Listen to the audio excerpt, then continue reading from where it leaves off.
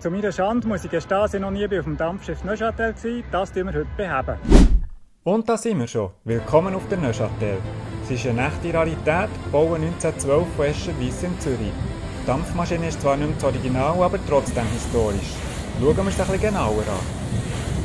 Das sind zwei Exzenter, die einen Schiebersteuer und so Dampf zum richtigen Moment in den Zylinder hineinlösen. Kommando vom Kapitän kommen über diesen Maschinentelegraph. Bisschen speziell ist, dass der Maschinenstand auf der Seite der Maschine steht. Es ist eine Zweizylindermaschine, die 1926 von Maffei in München gebaut ist, eigentlich für das Dampfschiff Ludwig Bessler auf dem Chiemsee. Die Temperatur im Maschinenraum ist über 40 Grad. Jetzt noch ein Blick auf den Dampfkessel und auf den Brenner. Der Einbau einer neuen Maschine ist nötig geworden, weil die Originalmaschine 1968 ausgebaut worden ist.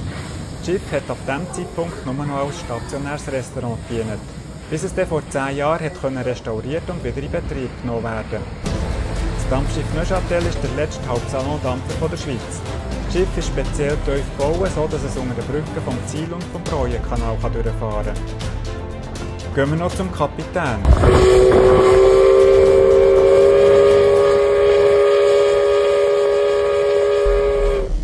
Gesteuert wird das Dampfschiff mit einem Joystick.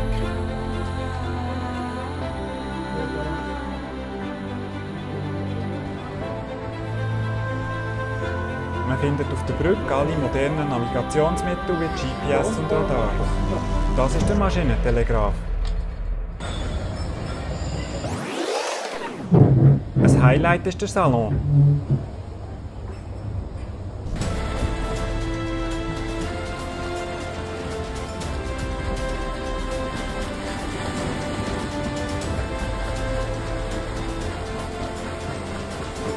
Schon ist unsere Rundfahrt vorbei.